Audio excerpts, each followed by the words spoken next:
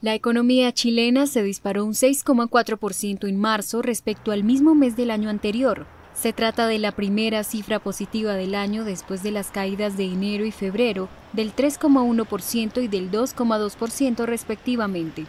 También la mejor marca desde marzo de 2020, tras lo cual se registraron nueve meses de recesión interrumpidos por un tímido crecimiento del 0,3% en noviembre.